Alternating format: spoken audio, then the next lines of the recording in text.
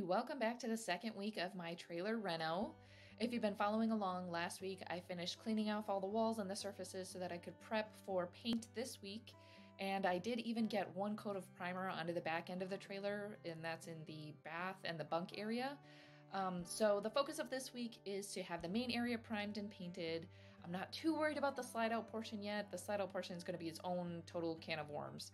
So here you can see there's a couple of tight spaces around the oven and the vent hood that are going to need paint, and I'm going to tape off around those joints of the appliances. Normally, I don't really use a lot of tape when I'm painting in all my other painting projects. Personally, I just prefer to cut in by hand because it requires a little less touching up at the end, a little less cleanup. Obviously, do whatever techniques fit best for you, but let me just tell you that painting a camper or trailer, RV, whatever, is not the same as my other painting projects. As you can see right now in this video, there's a rubber edging in the corner, and that is literally all over the trailer. All the seams and joints have this rubber or I guess plastic T-edging, which makes sense because these were like made to move. So all the interior compartments are bound to shift around and that edging just, you know, it provides a barrier, a flexible barrier for those joints. And I've seen in some other videos that people use like a stretchy caulk, a stretchy paintable caulk around these edges before painting them. I guess probably to keep the paint in place so that there's no pockets or bubbles.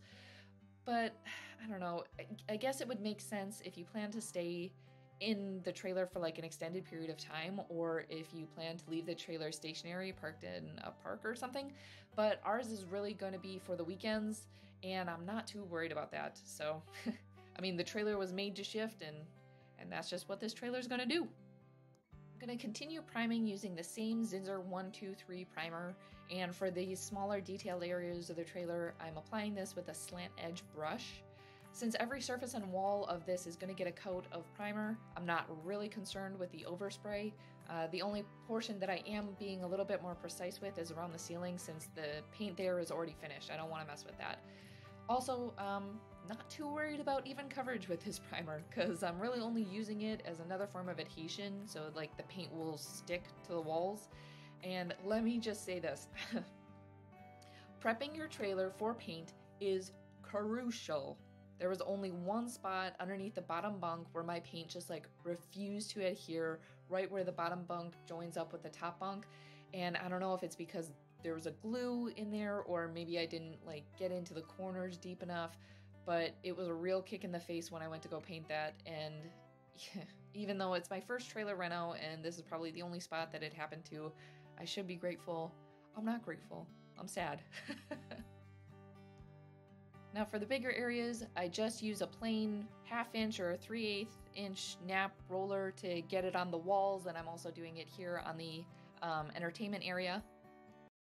Now, at this point of the reno, I'm actually feeling really confident still. Um, everything's going pretty well to plan, and things are covering really well. And actually, because of the Central Florida heat, everything's drying really quickly. So, as I'm finishing one, I can kind of move on to the next, just start from one end of the trailer to the other. And uh, so far, I mean, so good. So, here's the trailer with one full coat of primer on all the surfaces. And I know you're probably thinking, like, oh my god, it looks so good, everything looks different. But let's be real, it looks like shit. but that's okay, because this is just step one, and we can only go up from here.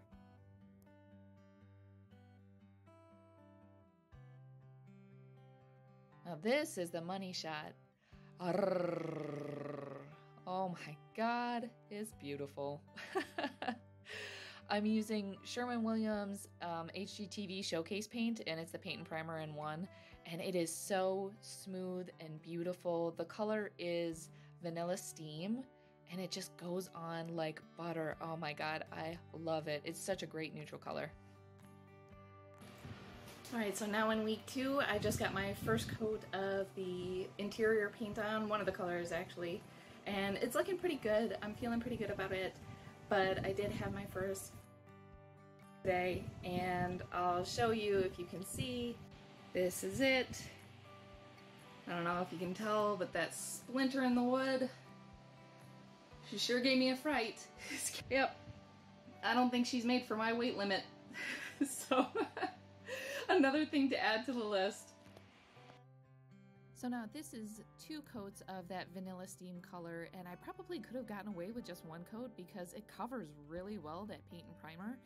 But um, no, I always just do two coats just to make sure that I'm not missing any little marks. It'll really bother me if I don't.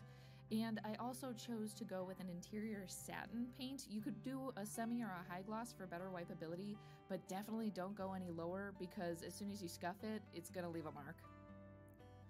Now, I got really sick of painting the exact same cabinets over and over, so I'm switching it up and I'm going to do the refrigerator. I found this leftover chalkboard paint that I had in the um, in the garage, and it's actually working out so well. I haven't actually written on the chalkboard yet, but it covered really nice.